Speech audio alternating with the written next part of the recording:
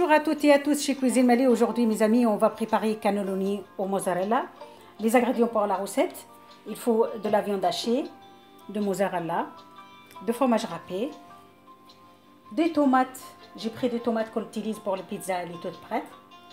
Euh, d'huile végétale, euh, crème épaisse, euh, l'équivalent de 4 cuillères de farine, un verre de lait, pareil, la même quantité, la même quantité de d'eau, euh, la moitié d'oignon, de sel, gingembre, poivre noir et de l'ail.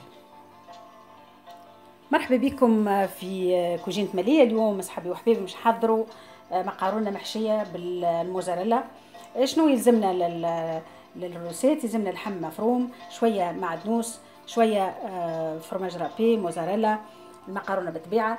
آه، نشتر آه، كعبة نتاع بصل شوية ثوم فلفل اكحل سكينجبير وملح. نفس ال quantité نتاع الماء والحليب. تحبوا تعملوا كان بالماء ولا بالحليب تنجموا كيف كيف. البيشاميل نتاعكم. الزيت نتاع المائدة. الفرينة قيمة أربعة مغارف فرينة. وأنتم حسب الرغبة قديه من من, من واحد باش تحضروا ال plat نتاعكم. طماطم تنجموا طماطم مرحية tout simplement ولا تاخذوا الطماطم اللي تستعملوها للبيتزا ولا تستعملوها لل pâtes خليت باش نعملوا منها شوية للبلاطو نتاعنا و crème épaisse. آه هذا ما يلزمني لل recette نتاعي تبعوني تشوفوا كيفاش نحضروا عشاء تحفون برشا. وغابي موزاريلا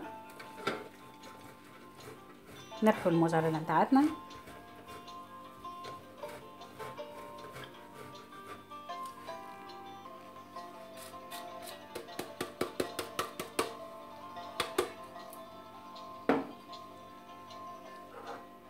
Je prends la moitié de fromage râpé.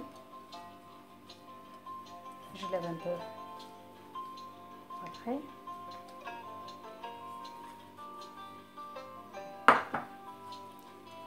خلط الفرماج رابي والموزاريلا نتاعي نحط عليهم معدنوس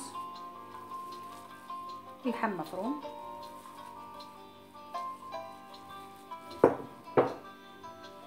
كريم إيباس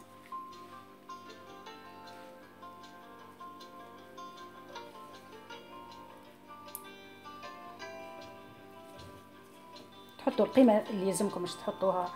آه أنا باش نطيب العشرة من الناس. ناخذ شوية وفاح لا موتيه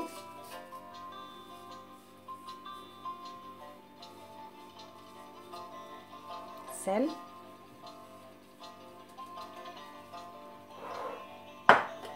Et je mélange tout ça.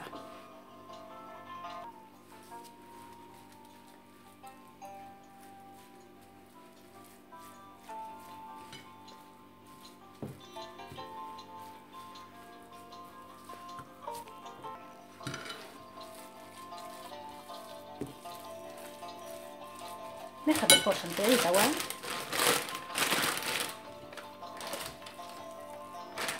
على غنطيح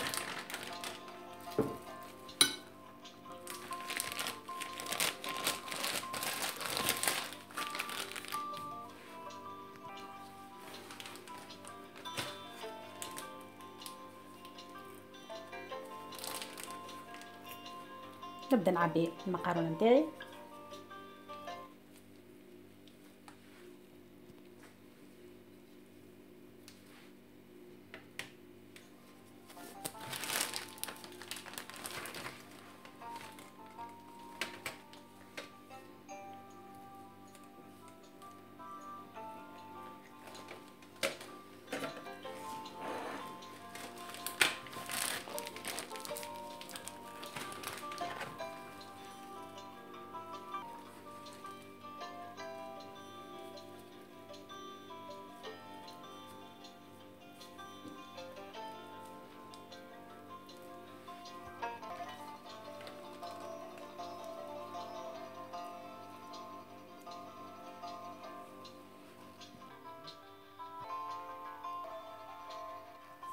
ناخذ البلاطو نتاعي je prends mon plateau je mets un peu de tomate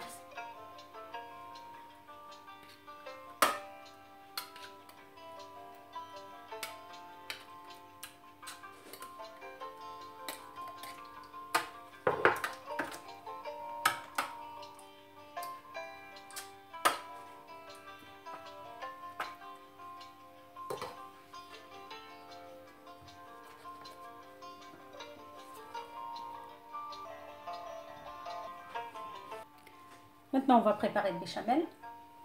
تو نحضر البيشاميل نتاعي ناخذ الزيت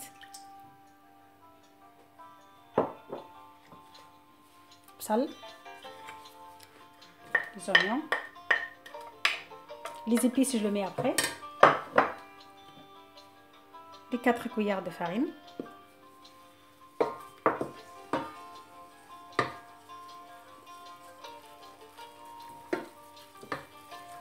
et on va le mettre sur le feu نحطوها فوق النار.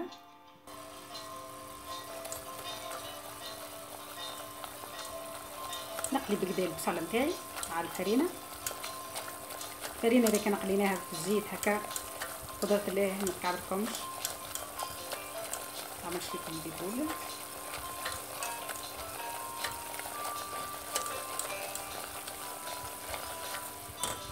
نحط الفراخ نتاعي جاجوت ميزيبيس.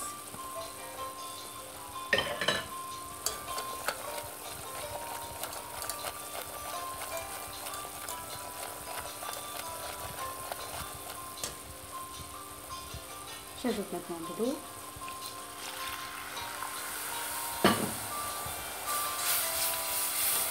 Et j'ajoute de lait. Et je le laisse pendant 10 minutes à peu près. خليها مدة 10 دقائق تطيب.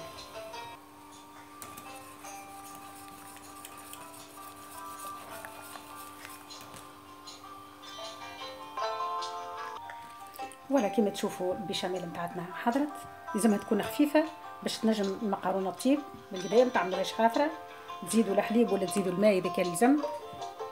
كي شفتوا عملتوا أكثر فرينة تزيدوا الماء لازمها تكون liquide هكا. فوالا البيشاميل ليكويد سايي faut qu'elle soit liquide. Maintenant.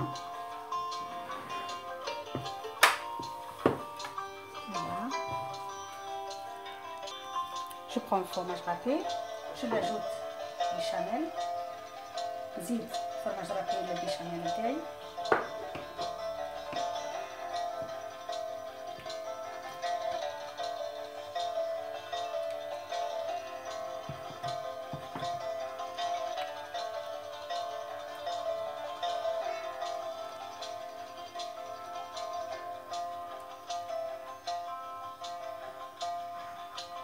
Comme vous mettez de la sauce, exactement, il faut qu'elle soit liquide.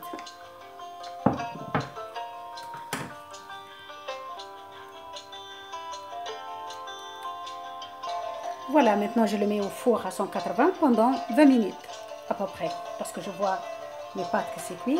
Alors je lève de four.